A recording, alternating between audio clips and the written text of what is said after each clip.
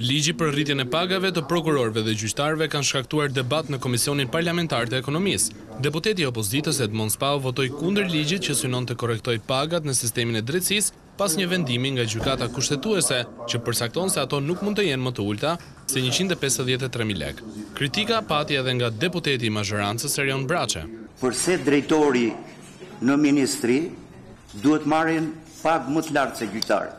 A ka hierarki në sistemin e pagave në Shqipëri? Kjo pagë që aktualisht magjistratët kanë është një pagë dinjitoze sipas Gjykatës Kushtetuese që i përmbush pritshmëritë e magjistratëve dhe është dinjitoze për detyrën që ushtrojnë. Bëhet vetëm që t'i shkojmë mbrapa zbatimit vendimit kushtetues, po rrogë në president. Vlerë ekonomikisht, kjo për gjykatësit e prokurorët kjo s'ka kurrgjë. Për fat të keq, ne ndjekim pas karriges.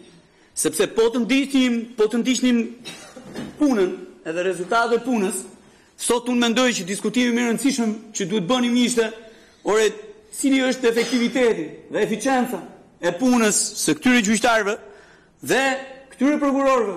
Jam dakord me atë se sa vlen puna, por ama kur diskutojmë që sa vlen puna e gjithsecilit prej nesh, nuk ndodh që Ai që lun TikTok tërë ditën, të marrë më shumë se shefi i vet.